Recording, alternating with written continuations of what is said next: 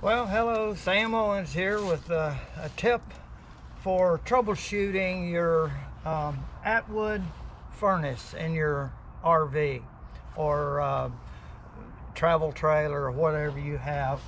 Uh, this morning it was like 25 degrees and I have the rig over at the house and last night uh, when I first turned it on it wouldn't the fan would not shut off. It would heat and uh, do what it was supposed to but it wouldn't shut off. And I just turned it off and used my uh, rear uh, furnace which worked fine. This morning I decided to take the cover off and uh, see what would hap uh, what was happening. Uh, but first I turned the furnace on and nothing come on the light at, at, my control panel inside showed that it was on but I come out here and uh, I found that the red light over here was on solid. And right here is a little troubleshooting diagnostic information and it says uh, standby on no flashing internal control failure. Well that means the board itself. There's others uh, one flash is airflow, two flashes uh, is flame sense fault, three flashes is ignition lockout fault. So it was just steady. So that's the control board. Uh, I'm going to show you the conditions and show you how we can troubleshoot this. So let me uh, pull the camera in closer so you can see everything. Inside at my control panel, I have the furnace on and I have the temperature at 80 degrees. And right here is a service switch. It's in the off position right here. You'll have one on yours so that you can do this without having to be inside. So I'm gonna turn it on. Nothing happens, but if you'll notice, there's a red light the red light is right in there and it's steady. So that means the board is most likely at fault. Well, I don't want to go down and buy a brand new board when my rear uh, furnace is working perfectly and it has the same board and everything. It's the same furnace. So I'm going to take the old uh, or the rear control board out and here it is. Now, I didn't need to show you show you that, but right here you can see they're the same. It's got this, and I'm going to show you how to get this out, and we're going to put my rear furnace control board in and see what we got. Okay, now you want to turn this off so that you don't have any power going to this, okay? And then the first thing you do is you take this and pull this connector off like that. Then up here is a little wing nut. You take it and now get ready and don't let it drop. Uh, just kind of hold on to it and slowly run it around and there. Now I'm going to put it right there. And now I take this and put it out of the way.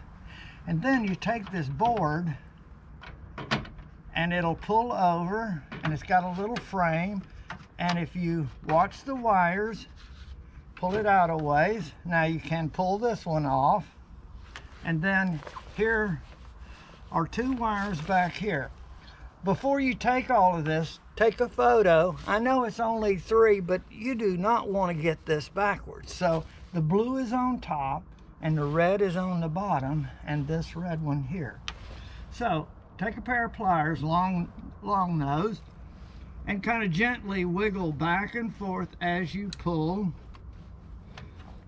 And you might hold on to this relay right here, there. And that will hold a little better. There you go. Okay.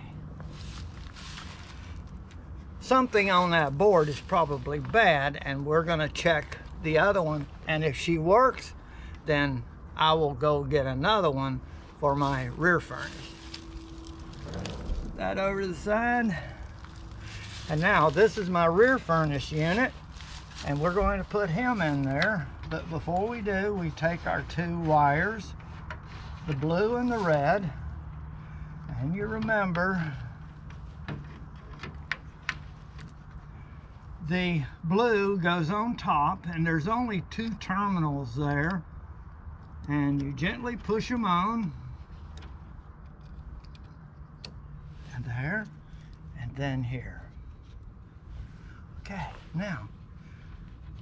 Now you don't want to create any more problems so just kind of gently uh, make sure it slides back nicely and no wires are are hooking on components in there. So you don't want to mess anything up. Push it all the way back until she seats into its a little crevice or its a little storage place. Let me see. There. And it's got to go in that hole with the little stud out there. Okay, there it is. I'm going to go ahead and plug this in. There. It'll only go one way. Then I take this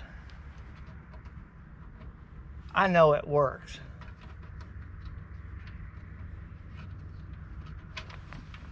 Okay, let's get her on. Got to get a little thread started and get her tight. You don't want it bouncing out and moving around. Now we have this last one and you plug her on. Don't forget it. Okay, so that was just three wires. Okay, now I'm gonna go in and be sure that the uh, that I did leave the furnace on and around 80 degrees. Okay, everything is ready. Now all I do is take my service switch and take it from off to on. It blinked one time. That's what it's supposed to do when everything is working. It blinks and one blink and she takes off. Now, it's pre-looking to blow all any excess gas out and then there's the igniter is that sweet so you can do this yourself uh, if you have two of these furnaces you can check yours out this way and determine for sure if the control board is bad. And mine is. Now I'm just going to go and there's some important information on here so you want to be sure you get the proper board. Okay, that one with that wonderful sound I'm going to close out and thank you for watching and hope uh, your problem is this easy to fix.